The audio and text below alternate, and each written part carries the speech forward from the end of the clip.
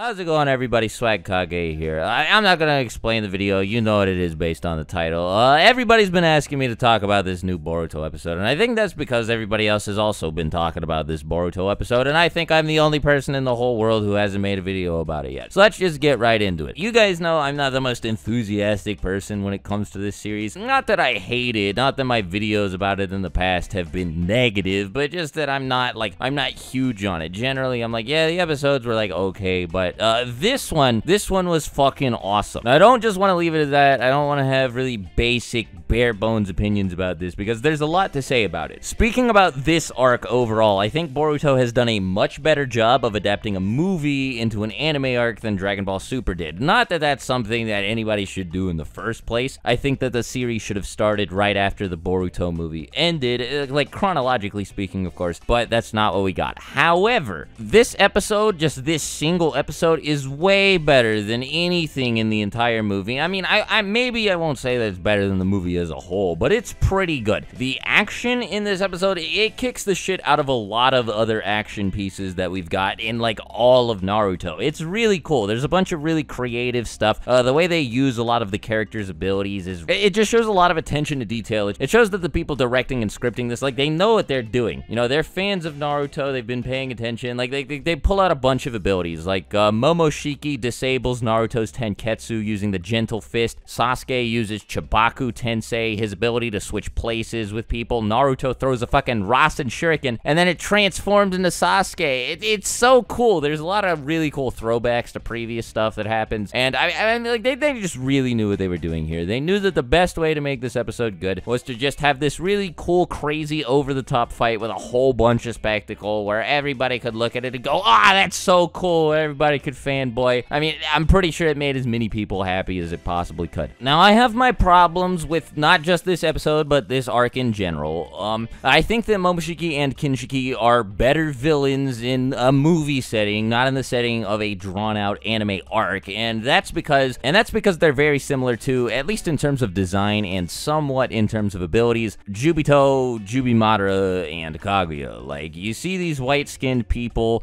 uh, summoning these gigantic Shinju trees, and it's very hard not to think, okay, we've been here before, and as a matter of fact, I think we were here pretty recently, like as in the last few arcs of Naruto, which, I mean, granted, Naruto did end in 2014, so it, it's not as bad as it would be if this was like a direct follow-up, but it's still a little bit distracting. Now, it didn't bother me because of how great this episode was, and I mean, it would have been cool to see the other Kage doing stuff, because, like, the, the parallels to the end of Naruto become even stronger when it's Naruto and Sasuke dealing with the main bad guys, but you know, I mean, it, I can't really complain because it wouldn't make a whole lot of sense for people like fucking Gaara and Darui to give somebody like Momoshiki a whole lot of trouble.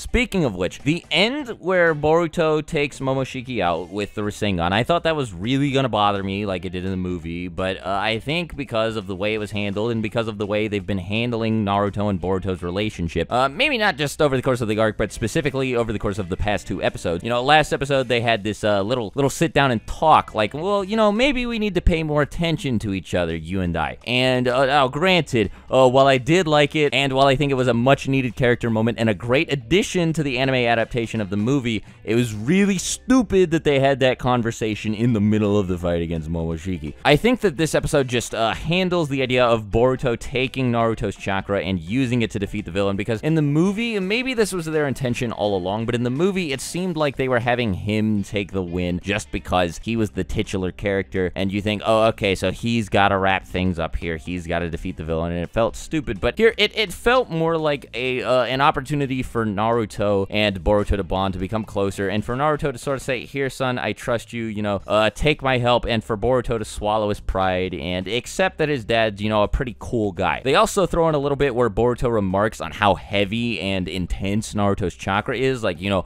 how much, how much did it take for Naruto to make a Rasengan this big? Speaking of the Rasengan, Boruto has a handful of pretty satisfying moments where he just whops Momoshiki with the Vanishing Rasengan. Like, like, the guy holds out his hand to absorb Boruto projectile Rasengan. Like, I mean, if you've seen the episode, you know what I'm talking about, so I feel kind of like a dunce explaining it. But when Momoshiki has everybody trapped in the Shadow Possession Jutsu, Boruto from the distance throws Rasengan, and everybody's first thought is like, okay, what's he doing? Like, he has no business being in this fight against this fucking continent busting alien. And so he like he throws his Rasengan, and to the average observer, it looks like the Rasengan whiffs away. Like it, it just vanishes because Boruto sucks at performing ninjutsu. But you know, if you know the kid, you know that it is it's a little bit more than meets the eye. The Rasengan vanishes, and Momoshiki's like, it couldn't even reach me. I didn't have an opportunity to absorb it. And then it just fucking smacks him in the face. It's one of the funniest things of all time. And then he gets another moment while he's uh while he's trying to create an opening to smash Momoshiki with the Rasengan. One of his clones does something very similar. Another thing I want to mention is I talked about the uh, the fact that Momoshiki used the gentle fist earlier, and the hand-to-hand combat near the beginning of the episode is really cool. Everybody likes hand-to-hand combat in Naruto fights, but a lot of the time there's not really a justification for it. Like Naruto versus Sasuke, uh, the hand-to-hand combat there, the the one at the end of Shippuden, not in part one. Everybody talked about how great it was when the episodes first came out, but at the same time, you think to yourself, I mean, why would they resort to that?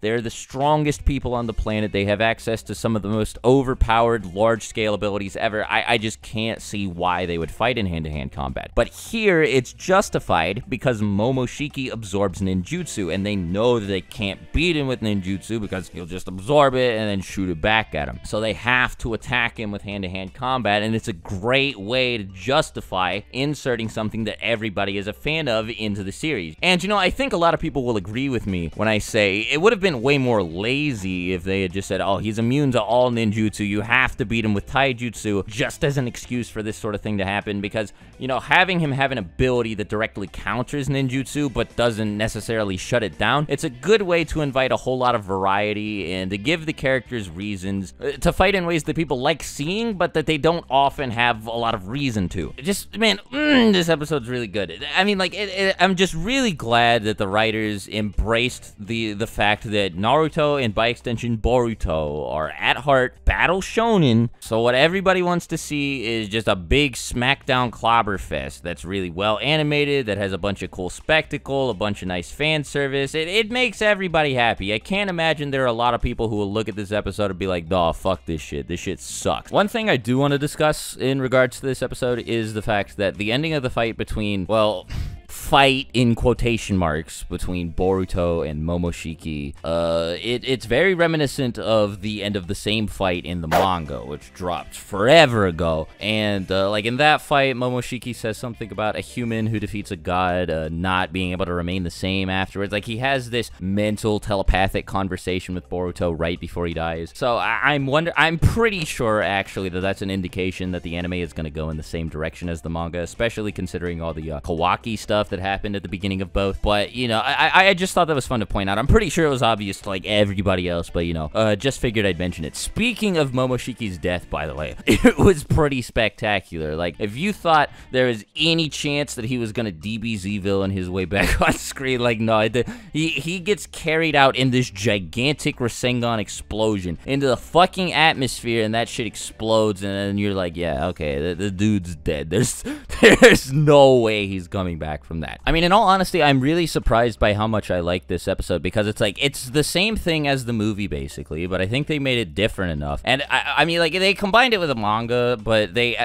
so okay, it's really hard to explain. But they combined what happened in the movie with what happened in the manga, which was already a retelling of the movie, but it was different. Like it, the manga was basically completely different because uh, they didn't have to use a whole lot of material, so they could they could just fill it with stuff that was very distinctly separate from the movie. Whereas the anime, I mean, like, it, it's an anime, so it's already more similar to the movie than the manga is just because you see everything moving and everything's in color, so you can more easily associate the two together. But on top of that, the art style of the anime is extremely similar to the art style of the movie because they were animated by the same people. Meanwhile, the manga has an artist that isn't Kishimoto. Um, you can tell that there are aspects from the manga that made it into the anime and aspects from the movie that made it into the anime. I don't know, it's just something that, uh, that made this episode and I think the arc in general feel nice. I mean, I did have some problems with it, so I don't think I can give it a, a, a solid 5 out of 5, but a 4.5 out of 5 is, like, that's easy. Definitely the best with, like,